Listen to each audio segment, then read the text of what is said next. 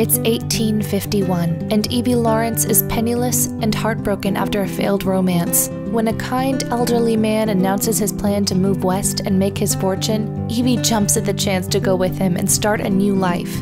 She says goodbye to the only home she's ever known and sets out for the Northwest.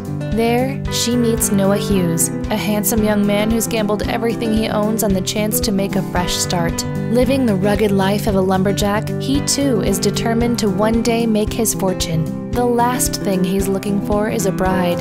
So why can't he get Evie out of his mind? In this first book of the Seattle Bride series, two people learn what it means to move beyond their expectations and embrace the very best God has for them. A Bride for Noah by Lori Copeland and Virginia Smith.